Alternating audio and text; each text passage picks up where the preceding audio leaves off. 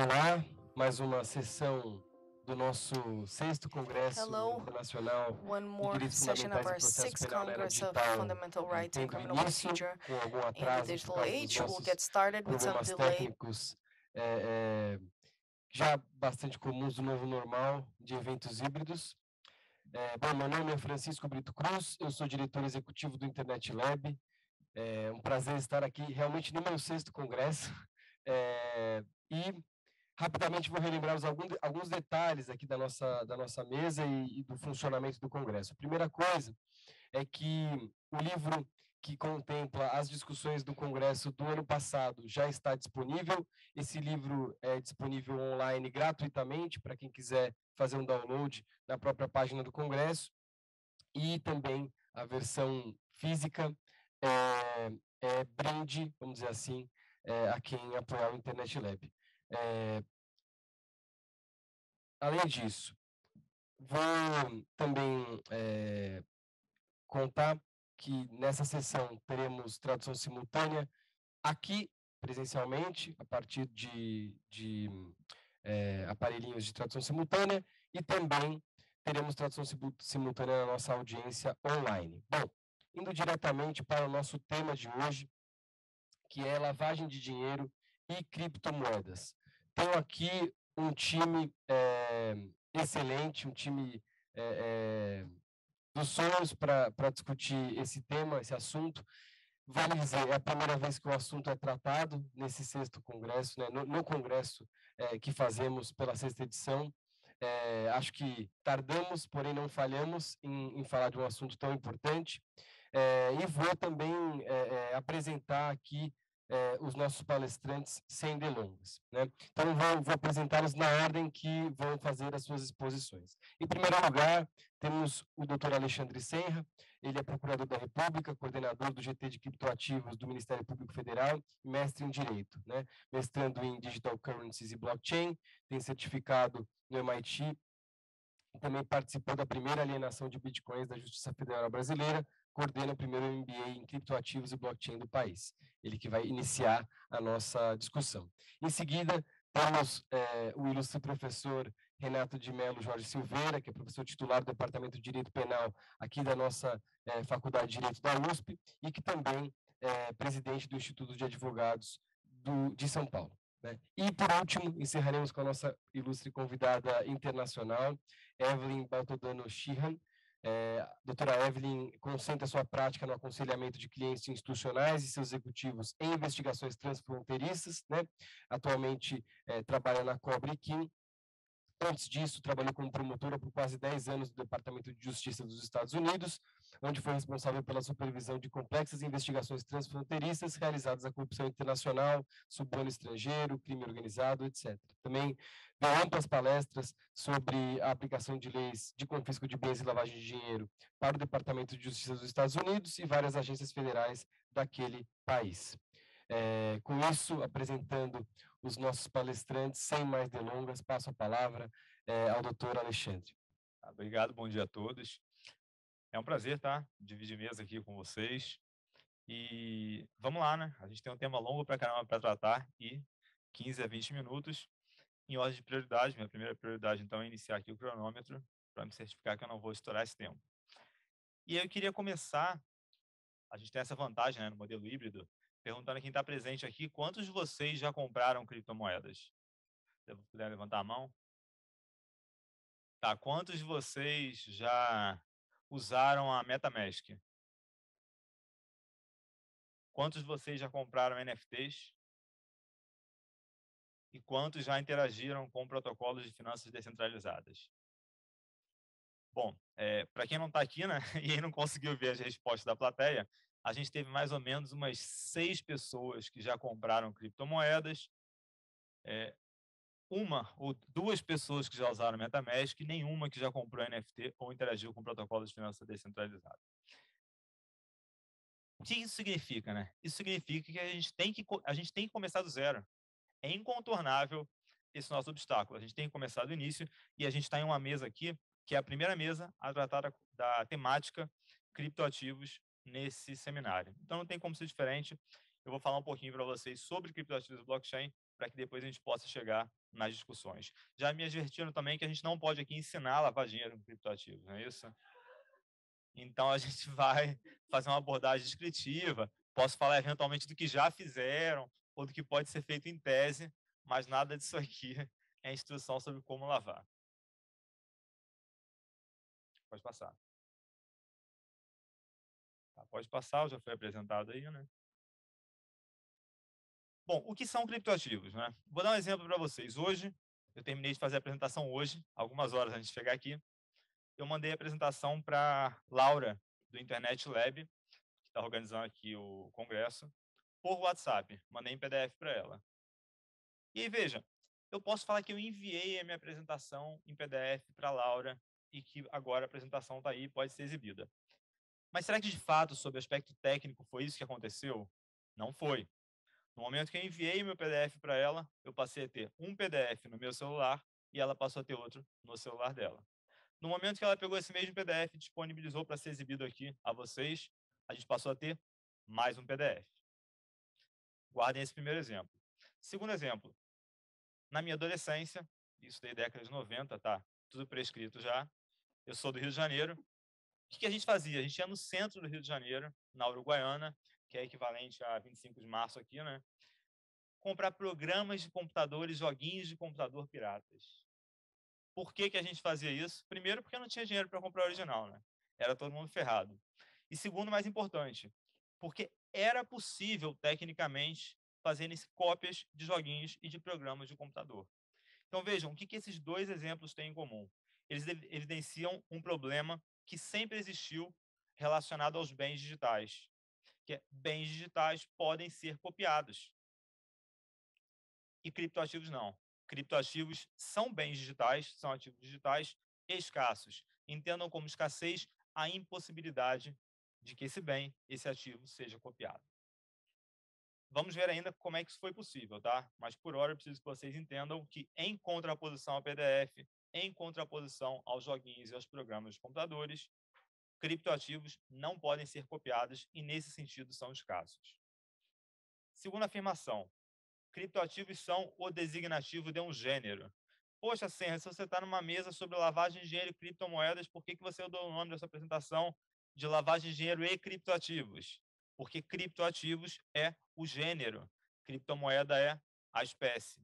Esse gênero ele pode ser classificado, ele pode ser cortado de variadas formas. Por hora, o que interessa a gente saber é que todos os ativos digitais escassos vão estar aí dentro. Criptomoedas estão dentro do gênero criptoativos. NFTs estão dentro do gênero criptoativos.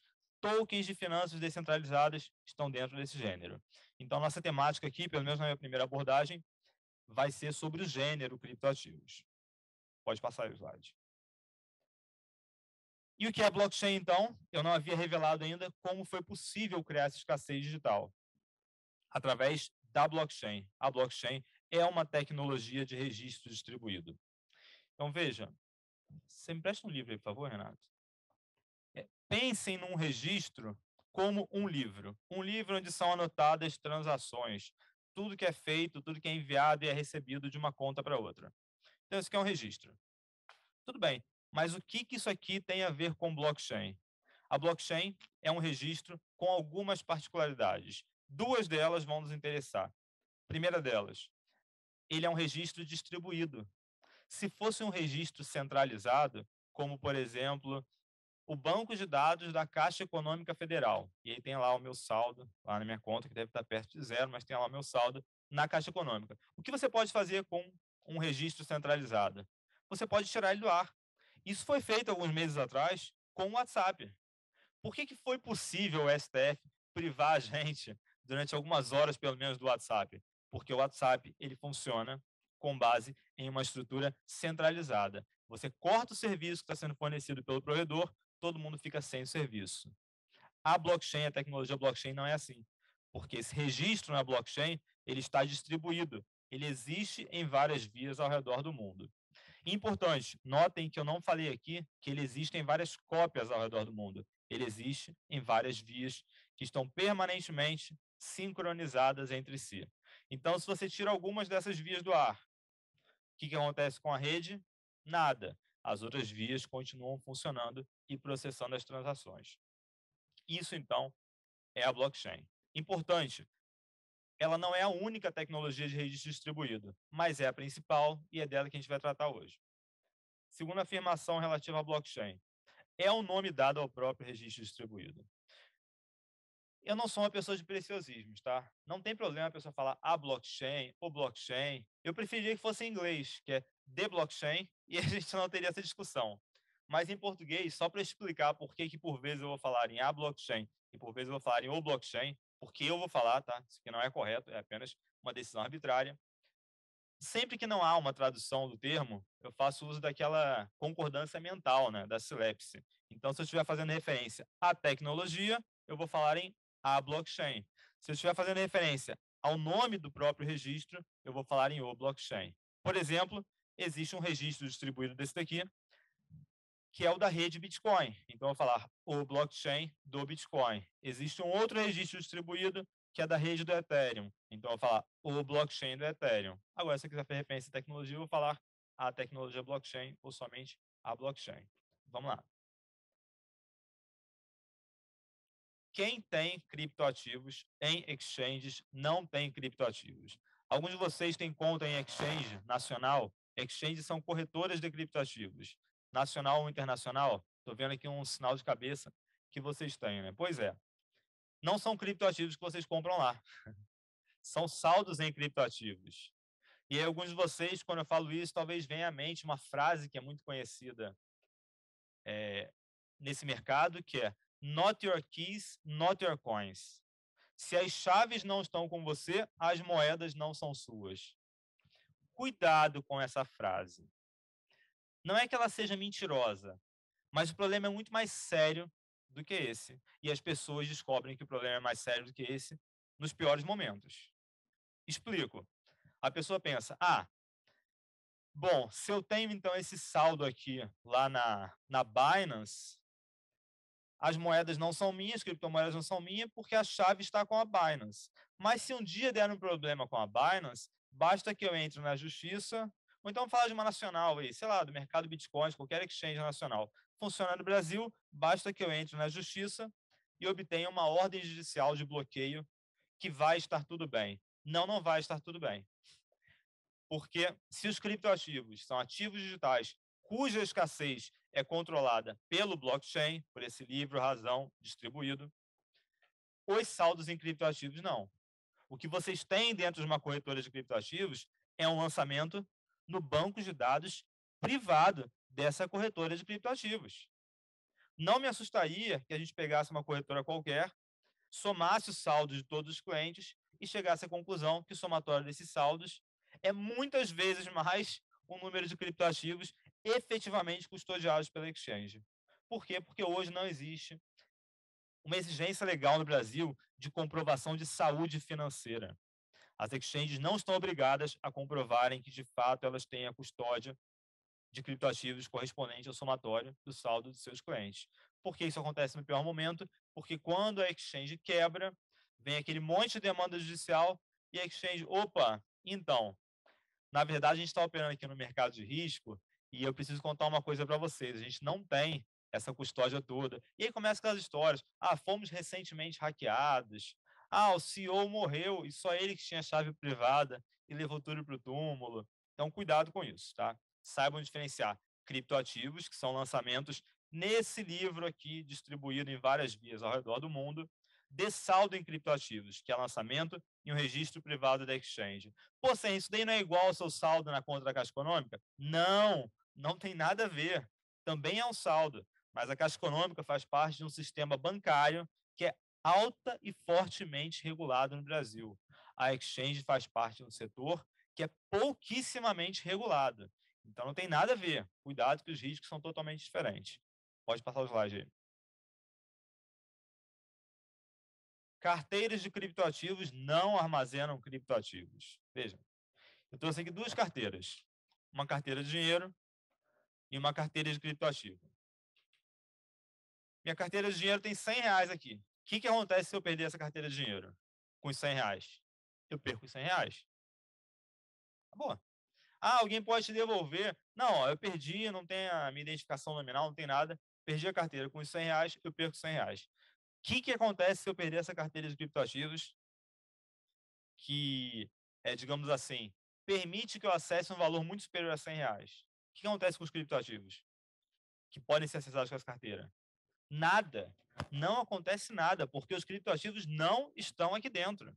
Veja, carteiras de criptoativos armazenam chaves privadas. O que ela está armazenando aqui é um código que permite que os criptoativos sejam movimentados de um endereço público do blockchain, desse livre razão público distribuído, para um outro endereço público. Então é isso o que a carteira armazena. Por que é importante vocês saberem isso? Por conta disso. Olha, a operação judicial apreendemos uma hardware wallet, uma carteira física do alvo. É só colocar no cofre da Justiça Federal que está tudo certo. Não, está tudo errado. Você vai colocar isso aqui lá no cofre e você está armazenando chaves privadas que outras pessoas podem ter acesso a ela. A chave privada é um código. Você não tem como garantir que outras pessoas não têm, por exemplo, um backup desse código. E os criptoativos estão no livro público distribuído, continuam podendo ser movimentados. Pode passar o slide. NFTs não são figurinhas. Essa imagem daí é de, é, ficou conhecida né, como, seu, como o Bored Ape, da coleção Bored Ape Yacht Club, que o Neymar comprou no início desse ano, que é o Bike 6633. E quando ele comprou esse NFT, o NFT atrelado a essa imagem, começaram as piadinhas no Twitter dele. Ele escreveu lá, fez um tweet lá, Apin, aí botou a imagem. Aí o pessoal começou embaixo. Ai, eu também tenho. A printar, começaram a printar a imagem do macaco e postar. Eu também tenho. E você? Você foi otário porque você pagou mais de um milhão, eu não paguei nada e também tenho. É, isso é uma brincadeira, mas isso revela também uma profunda ignorância das pessoas sobre o que é o NFT. E veja, o que aconteceu na sequência dessa coleção específica? Na sequência, teve a entrega de tokens fungíveis, tá? algo como uma criptomoeda, entre aspas, não é uma criptomoeda, mas a gente pode falar dos conceitos que a gente trouxe até aqui, que seria algo parecido com uma criptomoeda, a quem tinha um NFT na carteira.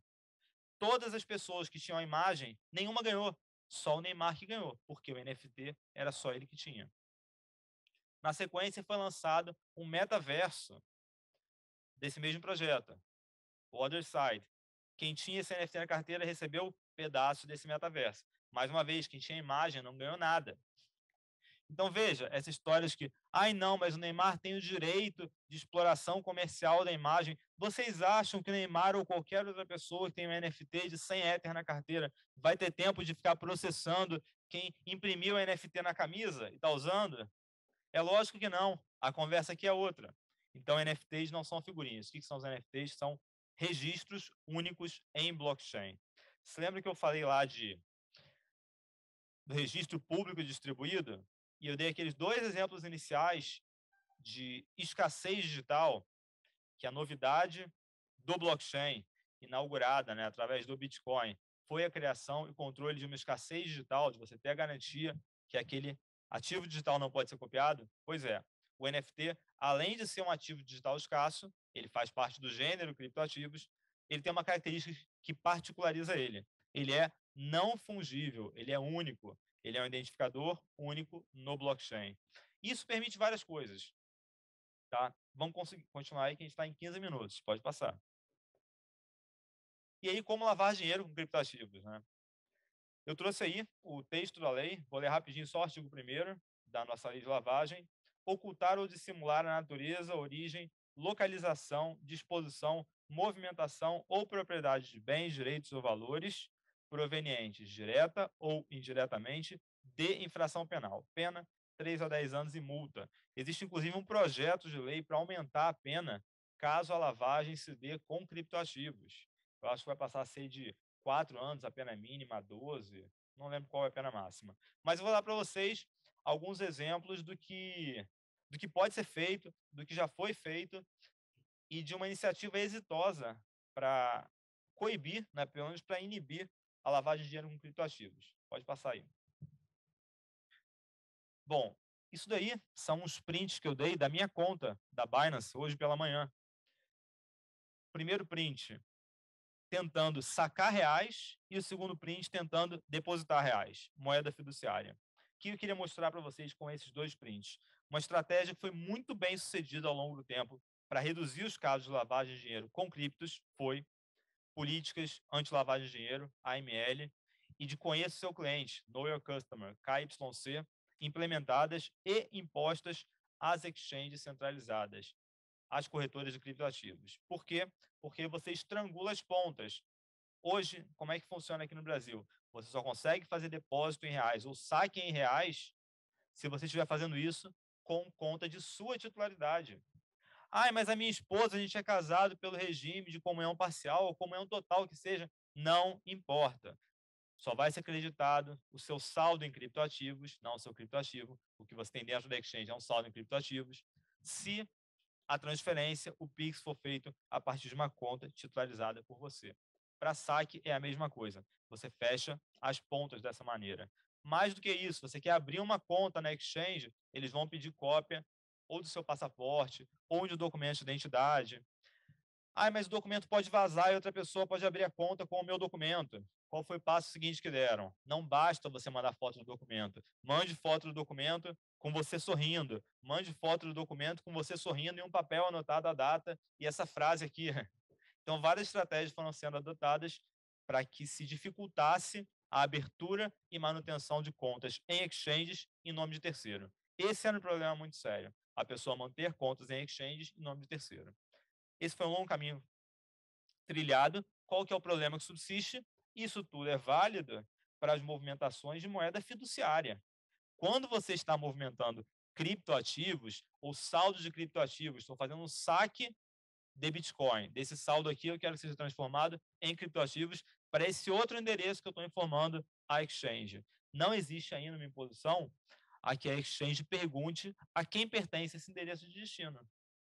Até porque talvez eu não saiba. Eu não sou obrigado a saber. O blockchain, no mais das vezes, esse livro aqui, ele é público. O blockchain do Bitcoin, do Ethereum, da BNB Chain são públicos, mas eles são pseudônimos. As informações não são provavelmente anônimas, mas são protegidas por pseudônimos. Você consegue identificar tudo o que aconteceu dentro dele mas a partir de números de conta. Vincular esses números de conta a pessoas já é outra história. Pode passar aí. Segundo exemplo, autoridades holandesas prendem suposto desenvolvedor do Tornado Cash. Tornado Cash é uma aplicação, tá?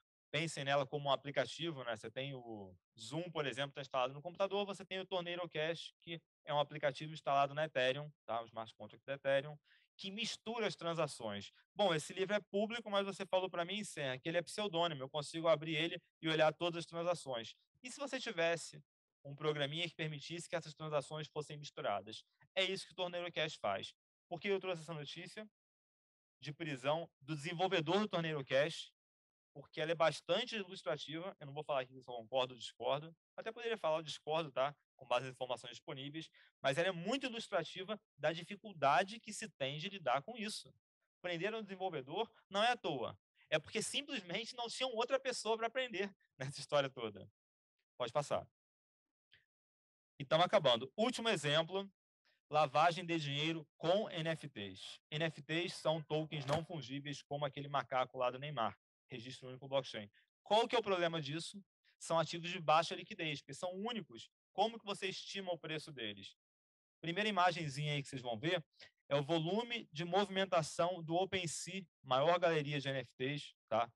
Em funcionamento. Para vocês terem uma ideia, ó, em 20 de junho de 2020, o volume diário era da ordem de 10 mil dólares. Em abril desse ano, o volume diário estava na ordem de 150 milhões de dólares em transações de NFT. Segunda imagem, uma transação aconteceu hoje de manhã, quando eu estava chegando no aeroporto, eu olhei, vamos ver se tem uma coisa interessante aqui. Foi vendido um domínio. O domínio é para você vincular a sua carteira, em vez de ter aquele númerozão que não dá para você anotar, não é?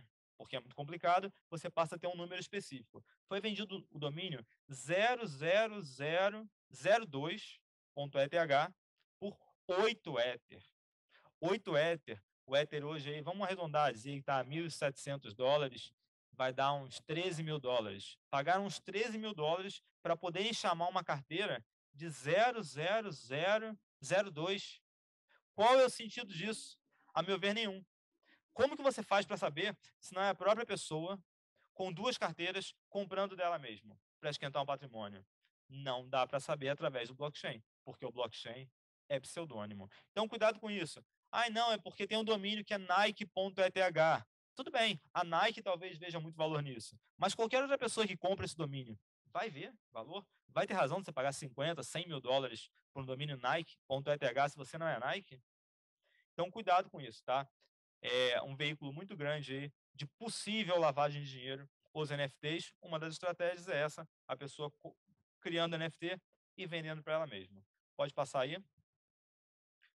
Desafios do combate à lavagem de dinheiro com criptoativos. Principal desafio no meu modo de ver as coisas não é inovação, e sim desconhecimento técnico. Não tem como. Não tem como a gente lidar com isso se a gente ignorar aspectos técnicos fundamentais dessa nova tecnologia. Pode passar. E aí, onde me encontrar, né? Quem quiser saber mais aí sobre mim ou saber onde eu estiver dando palestra falando do assunto, só me seguir aí nas redes sociais e tem o meu e-mail também. Obrigado a todos que me acompanharam e espero não ter estourado muito tempo. Muito bom dia a todos. Eu queria agradecer muitíssimo a oportunidade é, de comparecer a este, a este seminário entre Lab Lab. É, queria agradecer o convite da minha querida professora Marta, que dá a honra da sua presença aqui, professora Marta, que é uma das grandes, um dos grandes expoentes do direito penal e processual penal desta escola, e queria agradecer é, a oportunidade de ladear uh, autoridades uh, em relação ao tema.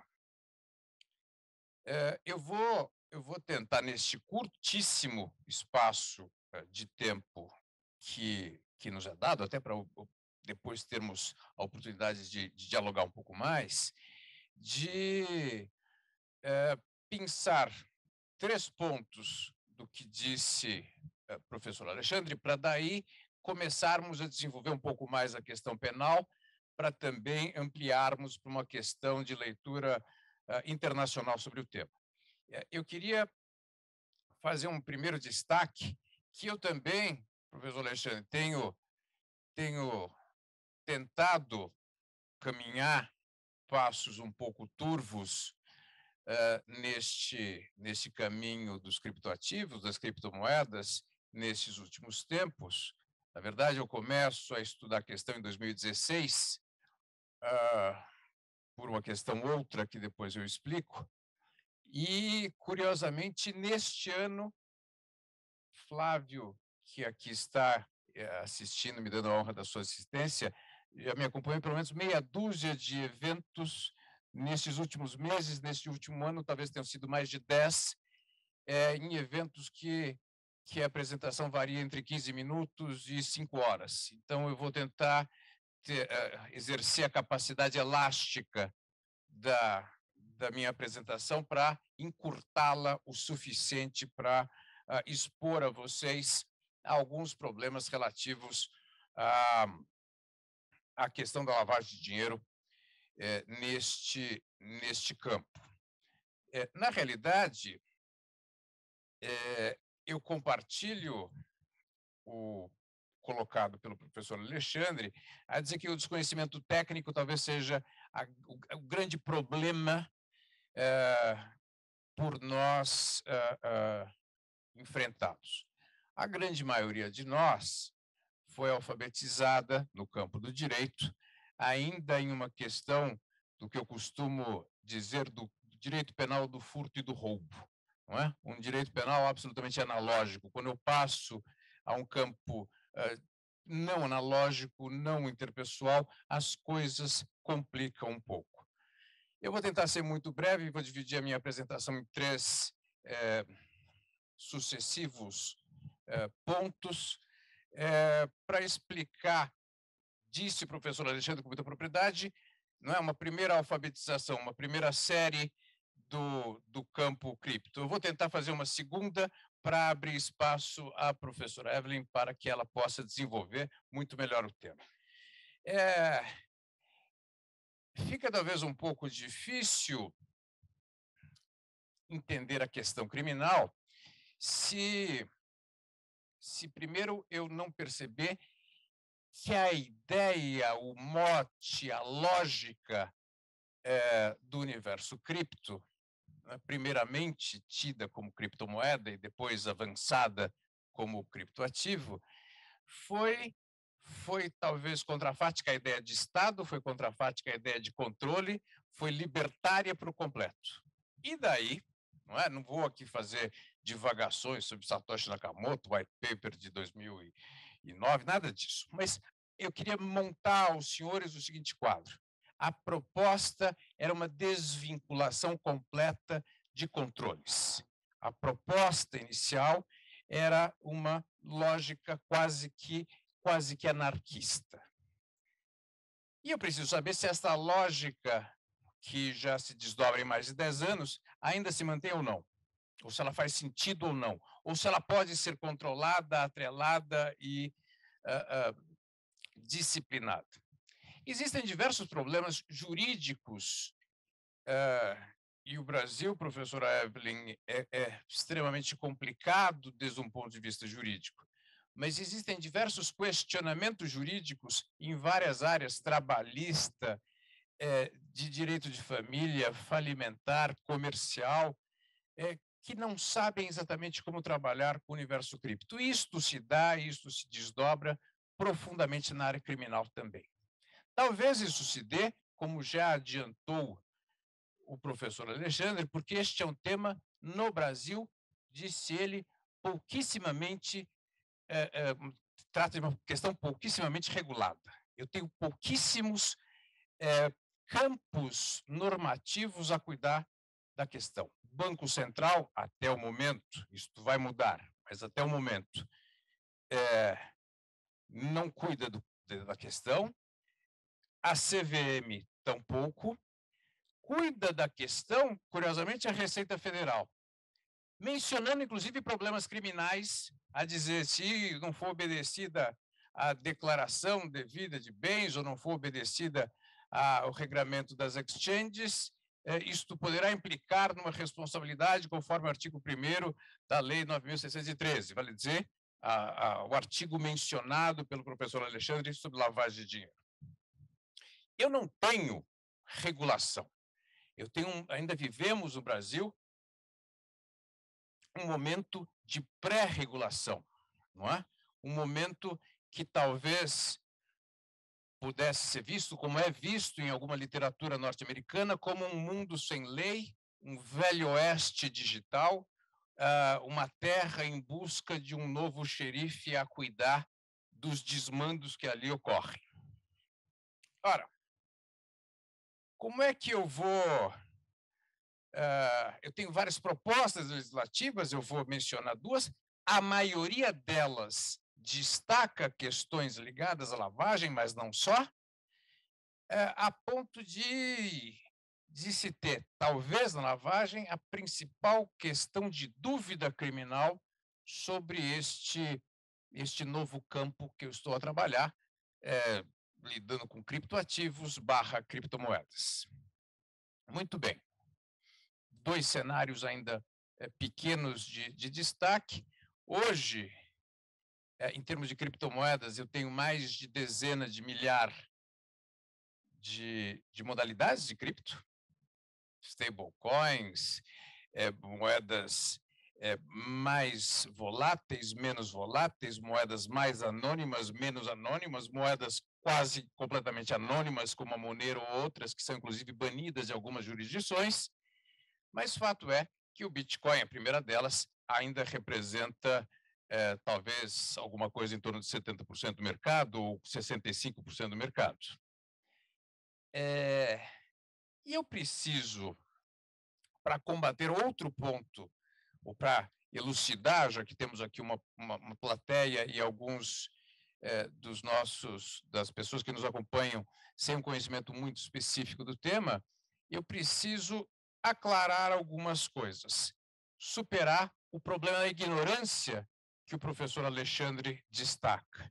O problema da ignorância e de um preconceito contra a cripto talvez seja um dos grandes problemas que uh, o mundo jurídico enfrenta. E este campo de ignorância barra preconceito se origina talvez porque nos primórdios do mundo cripto uh, te, uh, tenha sido identificado um grande caso criminal que manchou um pouco. Né? Eu sempre brinco, eu estava outro dia numa palestra parecida com esta e brincava com o desembargador que me acompanhava. Se eu começo a falar de, de variações cripto com alguém, por exemplo, eh, da faixa etária de minha mãe, ela vai achar que isto deve ter algum problema, alguma coisa errada, isto, isto não cheira bem, porque isto não é identificável, isto é, pode ser feita algo, alguma coisa errada com esse tipo de, de produto. O desembargador repetiu é, é, o, que, o que diria minha mãe e fala, de fato, isto não é uma coisa, não é algo de gente muito séria. Se é verdade isso, talvez o preconceito germinal das questões cripto, do problema criminal cripto, se explique com o chamado caso Silk Road. Mas não é este o nosso, o nosso campo é, fundamental de trabalho aqui.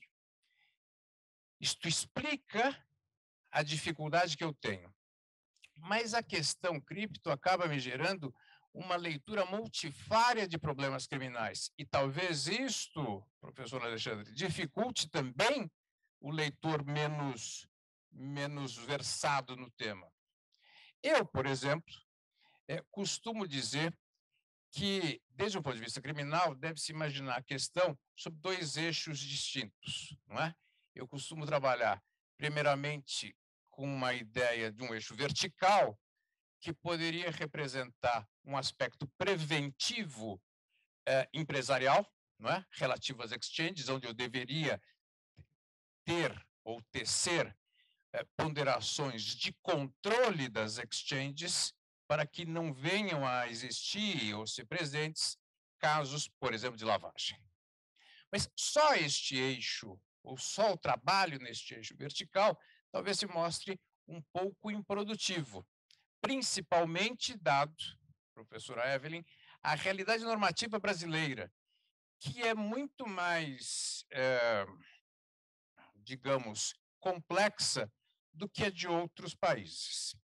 Eu deveria trabalhar, então, me parece, pelo menos na realidade brasileira, num eixo uh, horizontal, aonde eu verificasse questões repressivas desde um ponto de vista individual. E ao trabalhar neste gráfico, eh, de questão ponderada entre eixo vertical e horizontal, poderia encontrar medidas ideais ou menos ruins de uh, controle. Muito bem.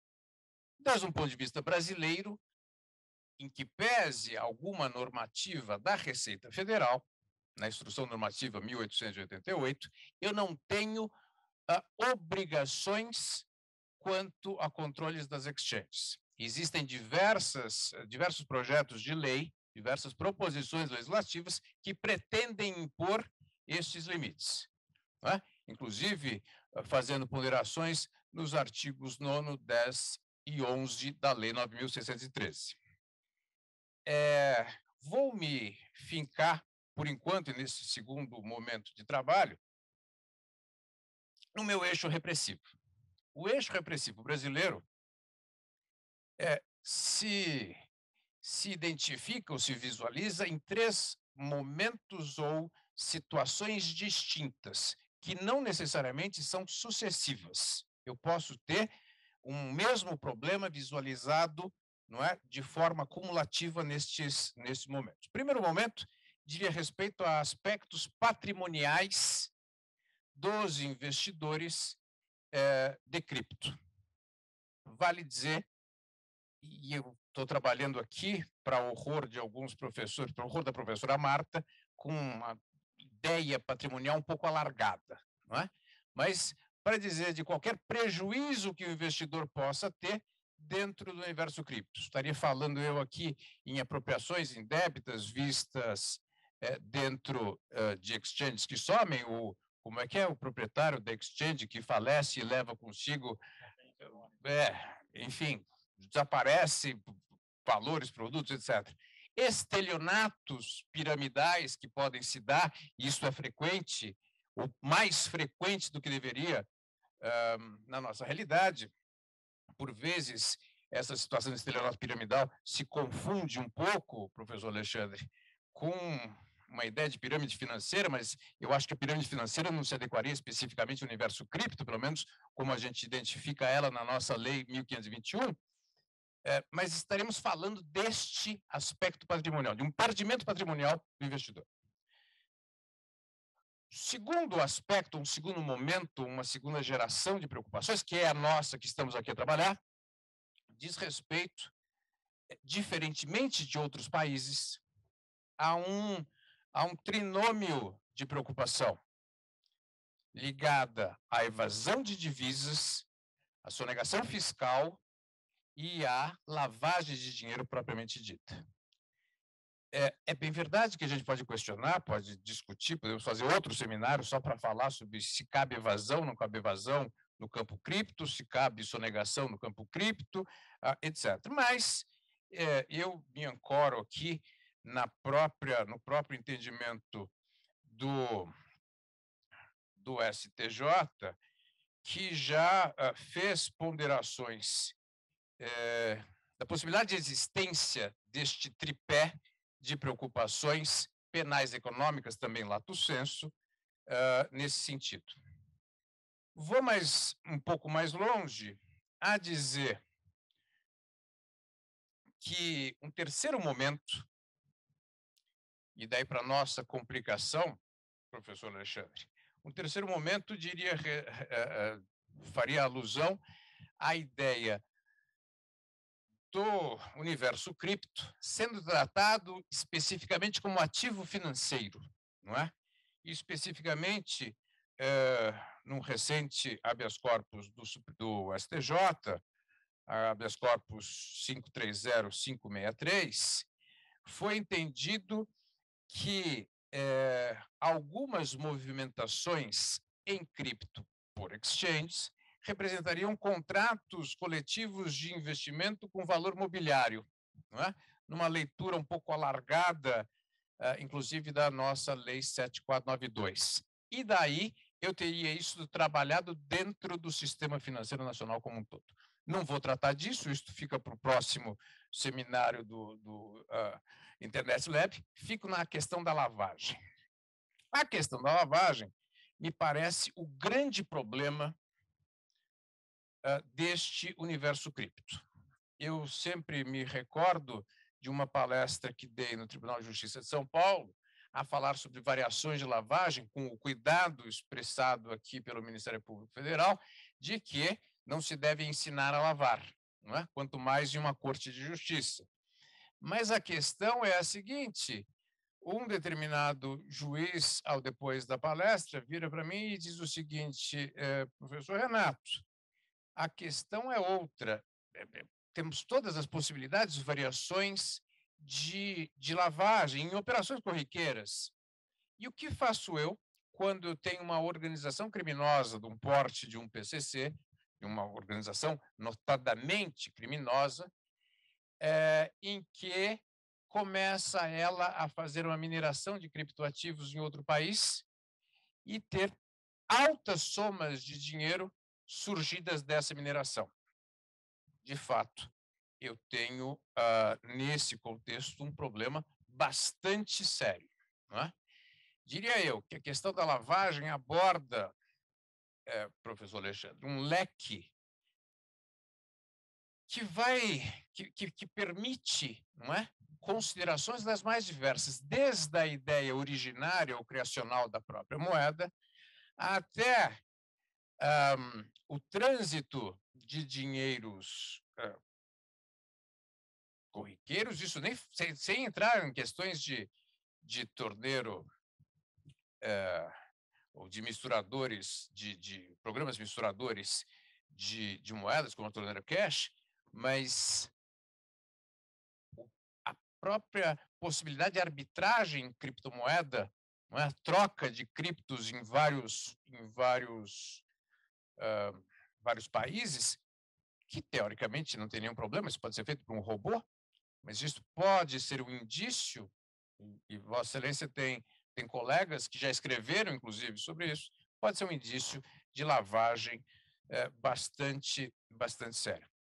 Me preocupa um pouco a ponderação de que a nossa lei de lavagem, pela construção normativa da nossa lei, do seu artigo 1, ao falar de ocultar, poderia gerar a ideia, como já se teve, de que o, o trabalhar com o universo cripto já seria é, indício de suspeita de quem quer é, escamotear valores. Em primeiro lugar, acho que não podemos imaginar, viremos ainda no velho oeste digital, é verdade, mas ainda assim não podemos imaginar que o trabalhar no universo cripto represente uma questão de um, pretensamente criminal, uma questão de cometimento de crime.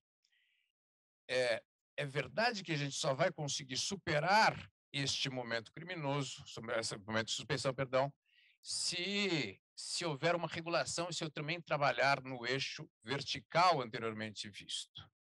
Mas eu me preocupo um pouco mais com isso, e dizia o professor Alexandre ao início da exposição. Me preocupa que tenhamos uma regulamentação vertical simbólica e que eu possa é, transitar em outros países, que eu possa transitar em outras é, é, jurisdições, fazendo até uso não é, do que seria uma versão do doleiro em termos cripto, não é? um criptomoedeiro, e burlando todo o sistema de controle. Me parece que quando se imagina, e aqui em termos prospectivos, já encerrando, um, quando se imagina a, a, ideia de um controle do mundo cripto, eu tenho que mirar no exemplo, por exemplo, exemplo dado na, na questão da lavagem de dinheiro, onde uma política internacional conseguiu gerar controles melhores. Quando, por exemplo, numa política anticorrupcional, eu consegui gerar normativas nacionais que falavam entre si. Precisamos estar um pouco atentos com isso, principalmente em face das propostas legislativas que aí estão. Convido a todos a observar é, os vários projetos de lei que estão em discussão. É bem verdade que não acredito que este ano venham eles a ser aprovados, mas proximamente, acredito que no, no próximo ano, devemos ter normativas nesse sentido. Normativas que vão disciplinar lavagem de dinheiro, em especial adesivando questões do artigo 9 e 10 da Lei 9.613, e também criando é, crimes é, relativos a exchanges de gestão temerária e fraudulenta de exchanges, gerando crimes em especial de estelionatos piramidais ou de pirâmides financeiras no universo cripto. É, de qualquer forma, é, este, eu costumo dizer que este aqui é um campo absolutamente em aberto, professora Marta. Temos problemas processuais enormes para trabalhar quanto a isso. Me parece que é, temos a oportunidade de, de dedilhar e de opinar sobre muitas coisas que estão no direito do porvir. Muito obrigado a todos. Okay, good afternoon, everybody.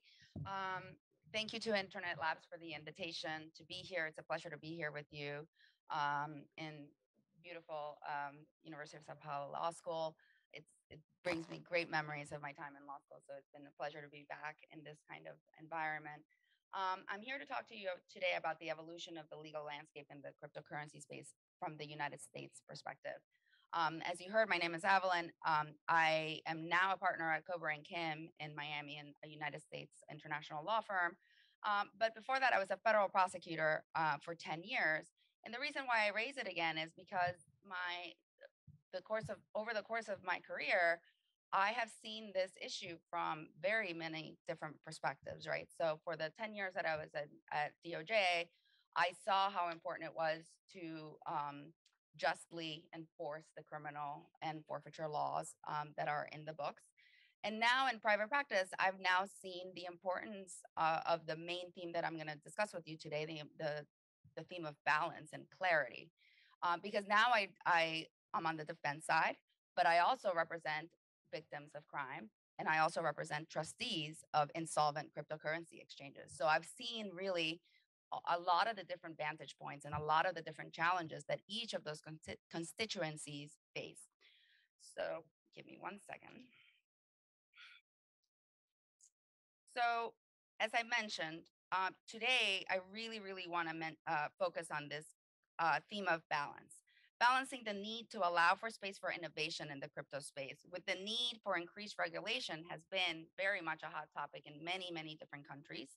Uh, in Latin America specifically, we've seen several, several sovereign actors go to either extreme. On one, on one end is El Salvador, who has made Bitcoin, um, you know, their national currency and legal tender. And on the other, we see some, a, a country like Guyana, um, that has completely banned Bitcoin altogether or cryptocurrency altogether. The sweet spot, of course, is somewhere in the middle will, with clear prospective market protections to curb the prevalence of hacks, scams, frauds, laundering by uh, corruption and, and organized crime, but with room for innovation within the industry, which is why this issue is so fascinating at the moment. One potential speed bump to reaching that sweet spot is the recent trend that we've observed in the United States, which is regulation by enforcement. Um, the concept refers to individuals and companies being targeted by various government agencies related to our allegations of wrongdoings, but without a forward looking regulatory or criminal framework from which to gain clarity. In other words, alleged wrongdoers are finding out they have done wrong for the first time when they receive a subpoena or are contacted by a regulator, or worse, with are facing uh, an arrest warrant, an indictment, or even worse, sanctions, which is what we've seen in the mixer space in, recently. So, in addition to making it difficult to know whether one is actually breaking the law in advance of making business decisions, this trend is particularly troubling because it stifles innovation and investment, not to mention that it threatens the liberty, reputation, and assets of the individuals implicated in the alleged criminal actions. So, as I mentioned before, another recent example of regulation by enforcement relates to criminal charges and sanctions pertaining to mixers um, that we heard about before. Mixers create a disconnect between um, the, the cryptocurrency that a user sends and what the receiver receives. It makes it very, very confusing and it makes it very difficult for law enforcement to actually trace the assets. So they're inherently a tool designed to make crypto transactions more private, um, which on one hand allows users to enjoy privacy for valid reasons, especially in the context of um, having to protect themselves from oppressive governments. That's really where we've seen a lot of these mixers come to good use. As you heard, the recent uh, uh, arrest in Amsterdam of the developer of a crypto mixer has really stunned the community uh, because the crypto mixers are obviously increasingly used for illicit activity. So, um, and now they're facing sanctions, um, even sanctions, uh, without sufficient clarity. There is no law on the books saying that mixers are per se illegal even though it is well understood that they can be used by third parties in support of illegal transactions.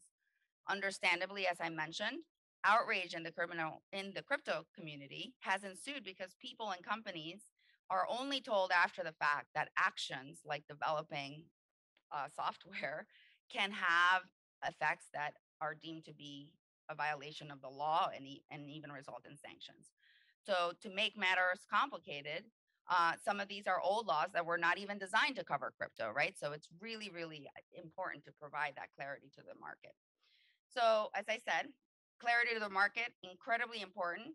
They can, it's important for all the innovators, many of you maybe even here who are interested in, in, in joining the, the drive to innovation. You don't want to find yourself accidentally um, having your life, liberty, and reputations in jeopardy without clarity of the rules.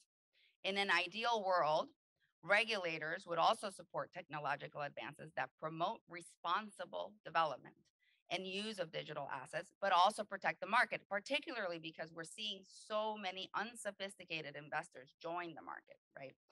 So not only will this protect consumers and crypto practitioners, But from a commercial perspective, smart entrepreneurs, innovators, and investors will gain comfort and enter and advance the market and the technological innovation. So despite the, the lack of regulatory clarity, even in the United States, we're seeing regulators even competing amongst themselves to see who is the first to actually regulate and enforce these laws. For example, the race between the Securities and Exchange Commission and the Commodity Futures Trading Commission has highlighted the debate over whether a cryptocurrency is a security or a commodity or both, starting with that very basic question.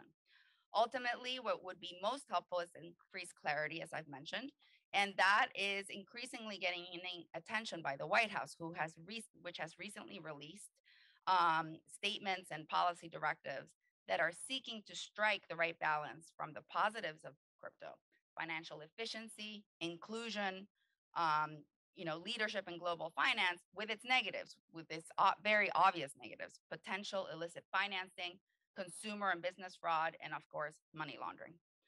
So what have been the recent trends that have increased the pressure to get this right and which is going to be faced by every single country struggling to legislate and to really bring clarity to the market? Well first we've seen recent incredible volatility that the that has the crypto universe at on edge. They're obviously highly volatile volatile. Around its peak in november of last year the market capitalization for Bitcoin was about 1.2 trillion in US dollars. Today, that has plummeted to under 400 billion, right? So while the turmoil in the marketplace is, is creating headline grabbing price drops for the big boys of, crypt, of crypto, Bitcoin, Ethereum, its effect is being felt elsewhere. The market volatility is almost certain to weed out many of the fraudulent and weak coins and stable coins. So, in, in addition to that, um, the volatility started weeding out exchanges and funds with poor or over, overly leveraged strategies in the crypto market. I mentioned before that we represent insolvencies; those are in the on the rise. These has this has led to massive insolvencies of major exchanges as the crypto market is struggling to meet withdrawal demands. Um, the professor mentioned the lack of requirement for for the backing of the actual balances in the crypto exchanges that has come to light in very, very painful ways for many investors. Some, many, many platforms are facing liquidity issues and exchanges have gone bankrupt. The key issue for crypto owners in this context is how the law will treat them in insolvency context, and with the likely outcome being that most of those customers of insolvent, of insolvent crypto exchanges will be considered nothing more than general unsecured creditors at the bottom of the food chain in insolvency proceedings meaning they would be the last for any claims and would therefore have the most to lose. So again, protection of the market, especially with unsophisticated investors, is incredibly important. Just recently, Voyager Digital, a crypto brokerage, filed for Chapter 11 in the United States. And in Singapore, Three Arrows Capital filed for bankruptcy in July and now faces 3.5 billion in creditor claims. So we're talking about a massive scale of loss Back in May, when its value had plunged nearly 90%, Coinbase said that if they were to file for bankruptcy, precisely what I said before, their customers would be nothing more than unsecured creditors. This risk is not new. Um, you know, going back to 2014, Mt. Gox, which at the time was the largest crypto exchange in the world, filed for bankruptcy in Japan after most of its Bitcoin mysteriously disappeared. So obviously almost eight years out and more and more of this, we're gonna see more and more of this. So despite the volatility, there has, as you heard before as well, there has been a massive increase in um, legitimate crypto users flood, flooding, flocking to the market and joining the market. With Chainalysis, the leading blockchain analysis company, recently reporting a 500% increase year over year in legitimate cryptocurrency use. Often, unsophisticated investors who don't know the basics about cryptocurrency putting a lot of their uh, of their net worth at, on the line. Unfortunately, in addition to the market volatility I mentioned, consumers are also facing an incredible rise in crimes involving crypto. So the same report that I mentioned before from Chainalysis estimated that in 2021, more than 14 billion in cryptocurrency was received by criminal crypto wallets which was up from 7 billion in 2020, so double the amount.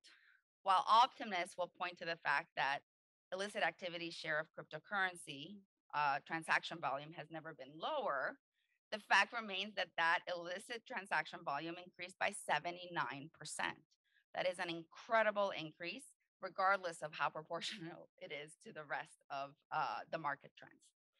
So I'm not here just to depress you. There are rays of hope uh, in this space that something that something can be done if the worst occurs. Um, even in the event that major crimes and hacks do occur, and innocent individuals and companies are significantly harmed, the combination of blockchain analysis technology and strong public-private partnerships in the United States can really allow asset tracing and recover and recovery, even in cases where targets are fugitives, which is often the case. So um, I, I won't belabor the, tra- the tracing technology, but blockchain analysis has made leaps and bounds since my time at the government. Um, very, very powerful uh, public-private partnership with the technology companies that are constantly developing uh, the technology to allow us to actually trace um, cryptocurrency transactions. Um, uh, many of you who are here are very familiar with the fact that there's an inherent transparency because of all this technology in the blockchain. Data can be used in conjunction, in conjunction with forensic tools to group addresses under common control, to graphically display connections among addresses, and in many cases, identify which entities controls those assets. Fundamentally, tracing crypto is not all that different from what I used to do at the Department of Justice. You follow the money. But instead of having to do cumbersome subpoenas and having to pour over bank statements of many, many years of transactions, you actually have the, the ability to do it in the first instance and in real time with the new technology. That's an incredible opportunity for law enforcement to be able to, to have significant success. The bad news, as I as we mentioned before, is that mixers and other new technologies create innovative ways to hide one's real world identity and thwart law enforcement despite all these technological advances. So as as we mentioned before, um, mixers uh, mixers make it very difficult to untangle which funds flowed where.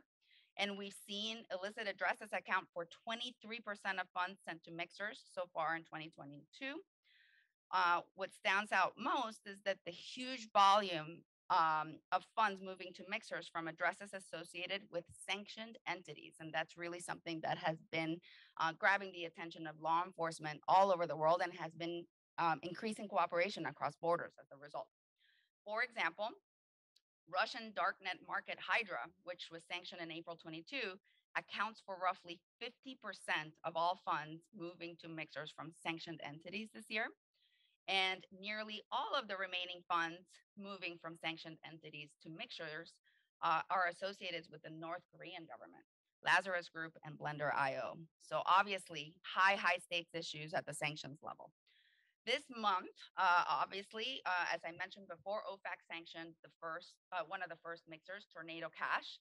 Uh, and before that, only four months before, had been the first one, Blender IO, in May of 2022 what really made waves with the tornado cash designation particularly notable, notable was the arrest of its developer in Amsterdam that we've been discussing here today, signaling that in addition to sanctions, individuals can face criminal liability simply for the development of technology that can be used illegally by third parties, right? So individuals being held responsible for creating technology that facilitates crime which is a very, very aggressive um, view of the law.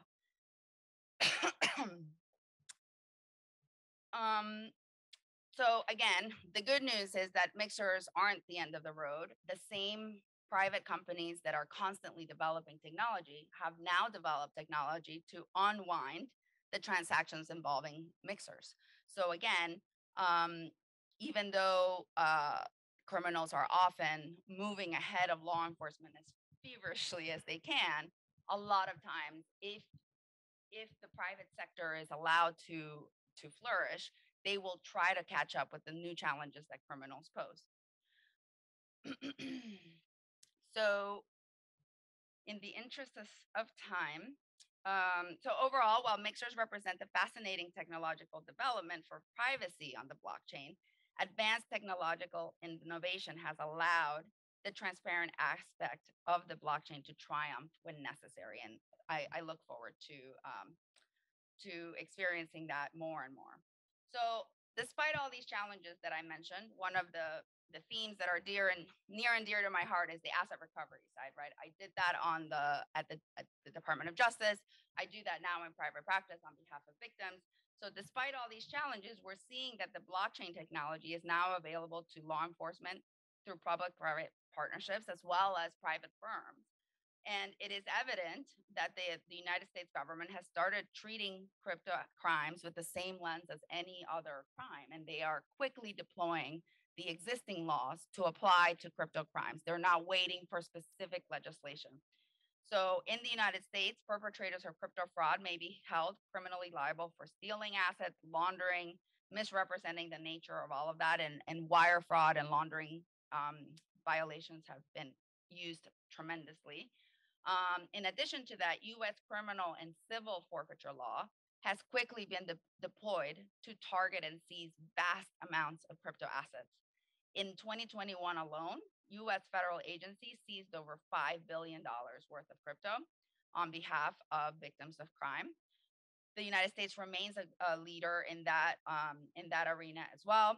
Under traditional asset forfeiture provisions under US law, any property uh, that is traceable to proceeds of crime, um, to proceeds of um, computer fraud, of computer fraud or wire fraud is subject to confiscation, and none of that required new legislation.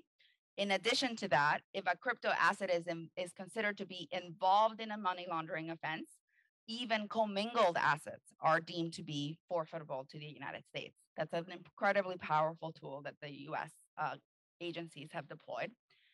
Um, importantly, um, and near and dear to many of us, uh, the government can use the vast investigative resources as it, at its disposal, including the international cooperation treaties. And we saw that uh, recently uh, in November 2020 with one of the cases that I believe um, the MPF handled as well. Pursuant to an official MLAT, they were able to uh, recover $24 million that was located in the United States. So it's not just the US requesting assistance, but other um, governments as well. so one of the one of the major themes in terms of balance, um, you know, despite this cooperation, it's incredibly important that, that despite the cooperation and despite the innovation that um, cryptocurrency uh, technology um, allows for authorities, international, it is critical for international authorities to still play by the rules, even when the technology at issue is much different than it has been in the past. For example, I'll give um, an anonymized version of one of my clients. Uh, it is, one second. um, we have a we have a case in the United States where the where our client, the defendant, is facing a two billion dollar uh, Ponzi scheme um, indictment, and the government obtained a restraining order and, and pursuant to an MLAT, sought assistance from an, a European country. And instead of obtaining a seizure warrant and serving it pursuant to the MLAT on the European country, they simply used documents that were received during the execution of a search warrant to simply change the password on the client's accounts and simply transferred a million dollars worth of crypto without going through the criminal procedures. The fact that in technological innovation allows you to do that does not mean that the criminal procedure safeguards that are in place should be ignored. So those are the kinds of challenges to the authorities that will be incredibly important to balance with the innovation. Um, So you, I, I, I, will touch on this very quickly. So you hear about all these uh, seizures. You might ask, what happens to the forfeited assets under U.S. law? All of those assets eventually end up in the hands of, of victims who are willing to come forward. And that has happened already uh, within the last few years. Uh, the Department of Justice's asset forfeiture program has returned over 5 billion uh, of civilly and criminally forfeited funds to crimes since 2002. So that is a significant benefit to the to the citizens of the United States or anywhere because victims don't have to be American. Uh, it is also very good news that other countries are also quickly trying to develop um, their laws in order to catch up with the technological challenges. Uh, the United Kingdom, Hong Kong, and of course, as, as we discussed before, Brazil is also trying to keep up. So to wrap up, here are some of the quick takeaways. Um, unfortunately, you know that every um, law enforcement agency has limited resources, so it's incredibly important to support efforts to provide further funding and uh, further devotion of resources to both specialized prosecutors, like the one here today, um, the investigative agencies, um, et cetera. Um, as one of the top 10 largest economies in the world, Brazil has an incredible opportunity to foster responsible innovation and wealth building within the crypto industry. The most important aspect, as I've said today, balance, balance and clarity improved technology will help us tremendously. And as I mentioned before, the, the public institutions' willingness to work with private technological firms to support their efforts can also be a tremendous resource that has worked very well in the United States with very little difficulties. Um, and finally, it's important to expand, if necessary, and enhance uh, asset forfeiture laws to allow um, the prosecutors who are doing all of the work not only bring justice against the criminal defendants, but also to help with the asset recovery component of those issues. And with that, I'll, I'll pass it along. Thank you very much.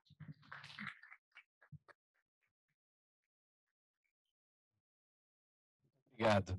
É, bom, em respeito à fome é, de todas e todos que estão aqui, é, vamos propor o seguinte: fazer coletar duas perguntas da plateia, se possível com o limite de caracteres de um tweet, é, para, para que a gente consiga condensar.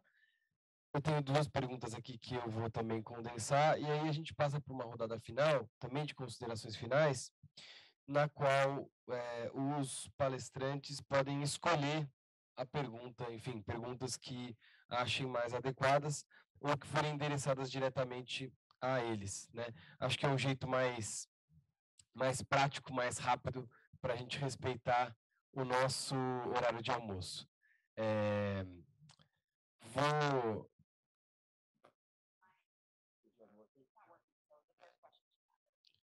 Ok, a primeira pergunta não será a nossa convidada Evelyn, porque ela, a gente foi trocar o aparelho dela. Alguém tem alguma pergunta aqui da plateia? Temos ali mais alguém? Para a gente já fechar duas aqui na frente. Então, coletamos primeiro ali, depois aqui. Pode ser?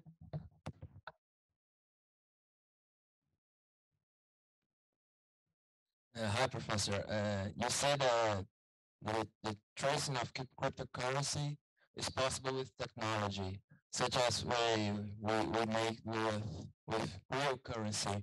And how is that, is that made? How is that possible? Which technologies and possible? we are going to do a round uh, before. Can Can okay.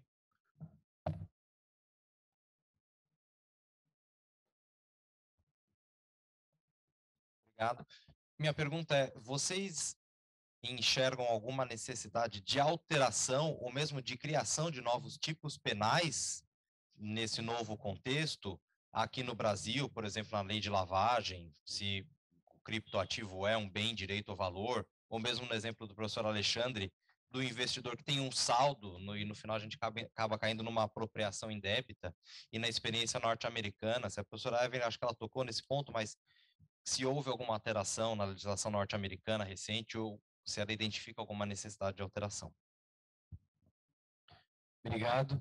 É, foram perguntas rápidas. Alguém tem mais alguma pergunta aqui?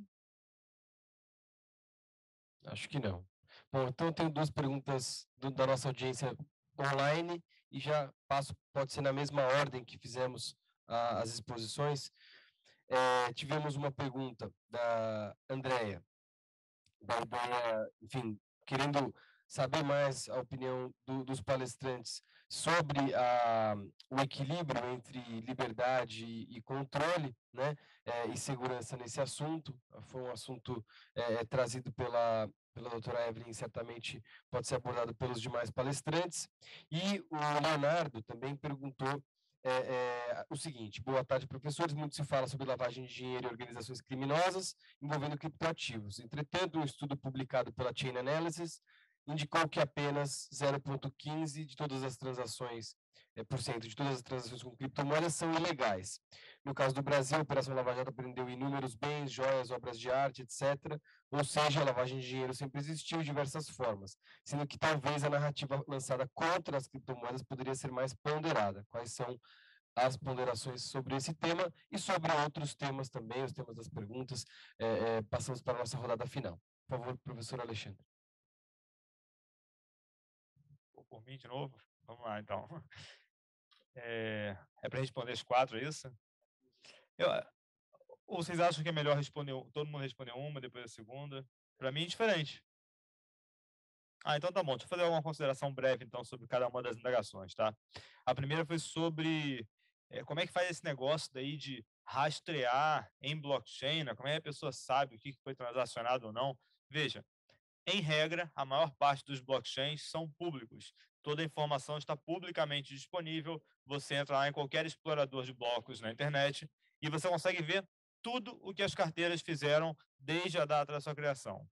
Isso é tranquilo, você consegue ver todas as movimentações. Exceção para algumas blockchains que funcionam com moedas de privacidade, como a Monero, que é o principal exemplo delas, tá? Em relação a essas blockchains públicas, qual que é a maior dificuldade de se identificar que, é, quem está envolvido nessas movimentações. Você vincular a carteira a uma determinada pessoa. Existem várias estratégias para se fazer isso. Por exemplo, carteira que mais se utiliza quando se interage com o blockchain da Ethereum, que é a MetaMask. É uma carteira que funciona no celular, é uma carteira que funciona no computador, é uma carteira que pode funcionar de maneira conjugada a um dispositivo físico as pessoas acham que estão usando a MetaMask e que ela preserva totalmente a sua privacidade. Só que a MetaMask ela não tem uma via desse livro público distribuído. A MetaMask não tem uma via disso, porque esse livro da Ethereum aqui está com um tamanho de mais de 400 gigas. E quem baixa essa carteirinha no celular não tem espaço de mais de 400 gigas para armazenar. Por que dessa volta? Para te explicar que quando a pessoa, quando o usuário manda uma transação a partir daqui, isso vai para um nó da rede, que é um ponto da rede que tem uma via desse livro. E esse nó pode, por exemplo, vincular aquele envio de transação a um IP. E aí você começa a fazer as associações.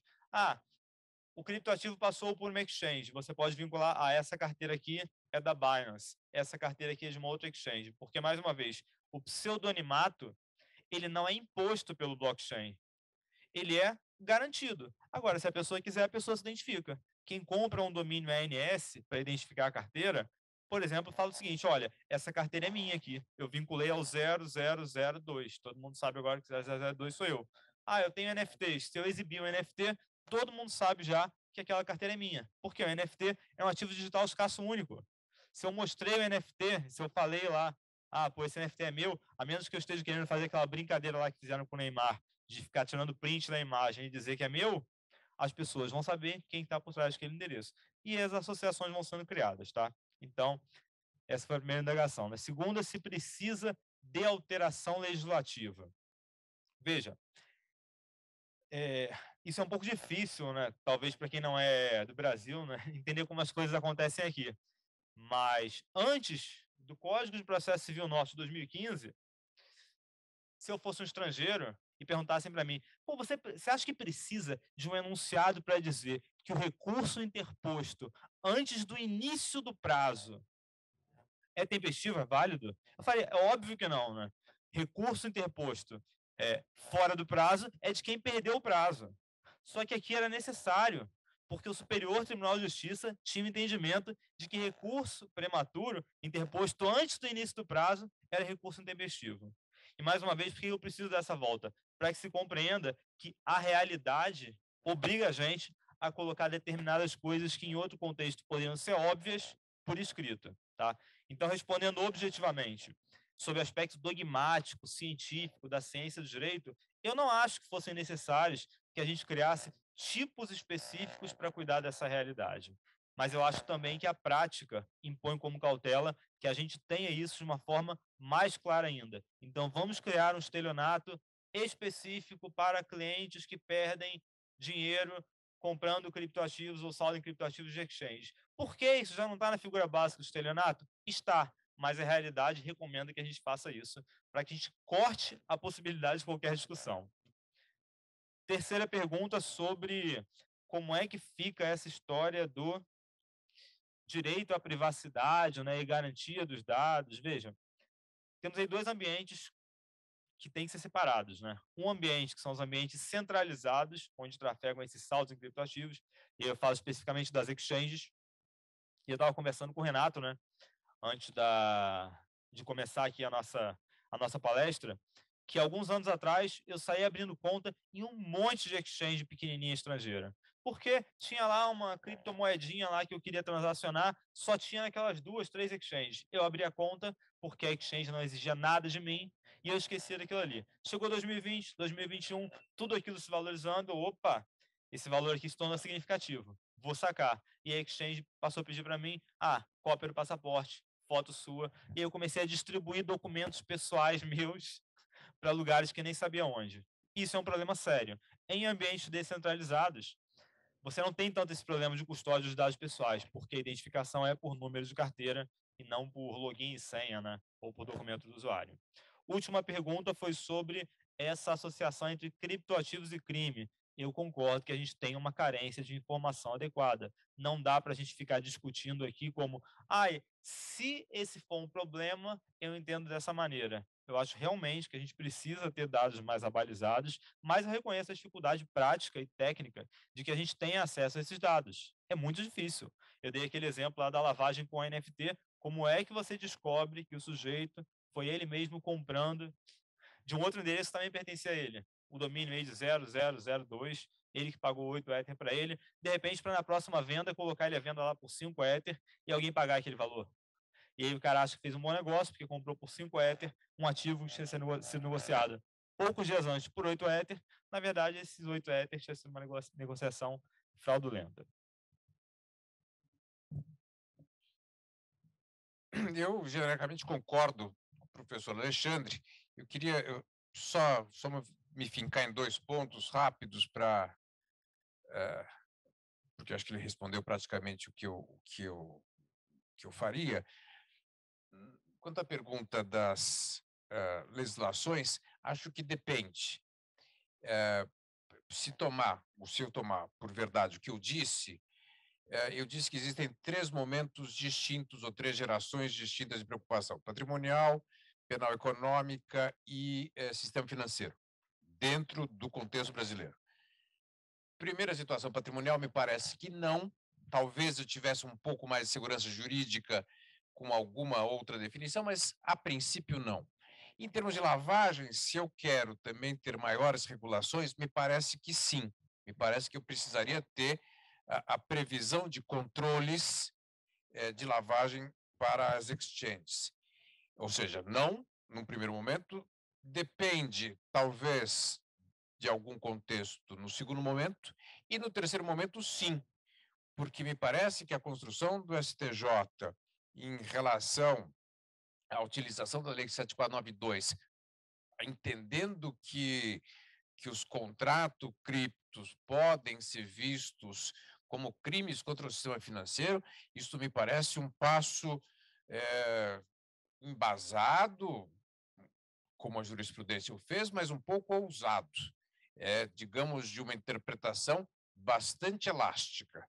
Então, me parece que, não no na questão patrimonial, penal econômica depende, talvez, em relação à lavagem, e sim, se eu quero uh, tipificar ou utilizar a lei do sistema financeiro para, esta, uh, para esse universo cripto. Eu só me preocupo, dado a tudo que o professor Alexandre falou, que estejamos nós todos aqui a discutir um pouco de problemas penais no universo cripto, a trabalhar como se fosse uma, não é? uma linha Maginot pensando no passado e não imaginando as questões futuras, as questões de inovação tecnológica que a professora Evelyn eh, destacou. Ou seja, a, a, a modernidade está avançando mais do que as respostas penais. Eu temo que eh, estejamos só vendo o passado e não imaginando o futuro e os problemas que vão surgir com as novas inovações tecnológicas. Thank you. I'll make it short. Uh, first of all, I, I love being called professor. Uh, you're making my thesis advisor very happy. Um, she didn't want me to go to law school. So um, I will I will end with a very short remark, which is uh, based on the last question, which is this concern for anyone involved in the crypto space and the stigma that is attached to it by people who who erroneously believe that it must be criminal in some way. And nothing could be further from the truth. I mean, if you look at any of the numbers, the vast majority of funds flowing through the crypto universe are not related to crime. The problem is that the scale of the problem is increasing. And I personally see almost every day a number of potential matters coming through my office where people have lost everything and so in in an unsophisticated sometimes way sometimes through no fault of their own because it's not even an investment it's through ransomware or hacks um, and so the scale of the loss merits a devotion of resources and careful thought about how it is that we're going to encounter this challenge and the same challenge that brazil is facing is being faced by every single jurisdiction um, and hopefully um, it's a malleable situation where all the countries learn from each other's mistakes because that's really the way that the only way forward, right? The United States by no means has gotten it right. It's gotten some of it right in terms of some of the asset recovery and the, and the very quick ability to react to technology that is very very important but as i mentioned before the the the rush to judgment and sometimes the rush to criminalize um, has has raised eyebrows for a lot of people who are not interested in anything criminal and who legitimately thought they were not committing any crimes. And so I, I don't want to sound like a broken record, balance, right? It's all about that balance. We want that innovation. We want that technology to open the doors to a lot of people who otherwise have those doors closed. And at the same time, we want to protect the citizenry from people who are taking advantage of many. And so hopefully we'll get it right in time. Um, uh, the United States, as I mentioned, has not necessarily expanded the the menu of criminal laws or forfeiture laws in order to deal with crypto. Uh, a lot of that is probably going to have to come through uh, litigation. Some of the, the guidance and the pushing back by the defense bar, I'm very much a part of that defense bar right now, where we're pushing the boundaries on the criminal procedure that we're going to have to insist upon to make sure that the rush to justice doesn't trample on individual rights. Muito obrigado. Muito obrigado. É, bom, encerramos então o nosso painel 4 sobre lavagem de dinheiro e criptomoedas. Acho que estreamos o tema muito bem na nossa sexta edição. É, com isso, é, apenas vou relembrar que hoje de noite continuamos a nossa programação com o painel 5, tema interessantíssimo de sobre investigação defensiva e cadeia de custódia em prova digital, com grandes palestrantes. É, e agradecer a presença de todos, renovar o agradecimento do Internet Lab é, à Faculdade de Direito por ser nossa parceira no evento, na pessoa da professora Marta Saad, e desejar um bom almoço para todo mundo. Até mais.